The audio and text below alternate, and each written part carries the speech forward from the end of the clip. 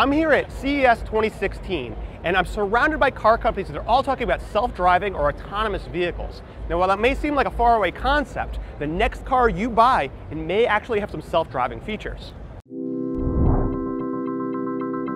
Now, why is this such a big deal? It's because autonomous driving can actually make the roads safer. Computers don't make mistakes like humans do. They can never get distracted, and they can never get tired.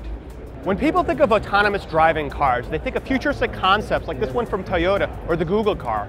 But the truth is, cars like these, they're still decades away because the technology is not quite there yet.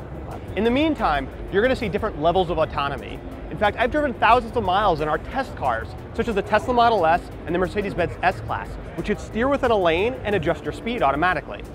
And later this year, Cadillac has announced that they will allow you to take your hands off the steering wheel in some situations on their Cadillac CT6. This year at CES, we've heard from many automakers committing to delivering this technology in the next few years, but safety is still the utmost concern. And if the car encounters anything it can't quite handle, it'll tell you to put your hands back on the wheel and take control again.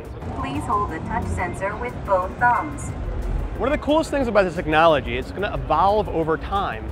The way they're going to do that is as the cars drive, they're going to take what they learned and send it up to the cloud, and that information will actually go to the fleet of vehicles, making them all better drivers.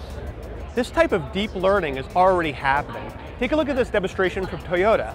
These cars are actually driving by themselves, but just a short time ago, they were actually hitting each other. They've learned how to drive nicely together and avoid obstacles. And here's the best thing, it's not going to be just an expensive luxury cars. There are many affordable cars that are offering this technology very soon too. And it might just be on the next car that you buy. For our full coverage of CES, join us on social media and YouTube, as well as consumerreports.org.